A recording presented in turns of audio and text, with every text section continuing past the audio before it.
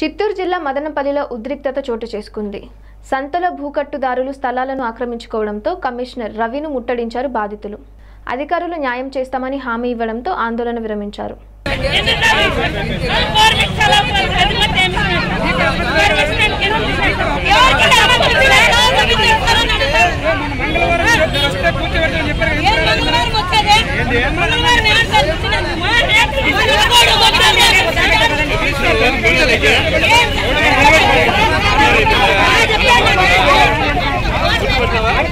Yeah.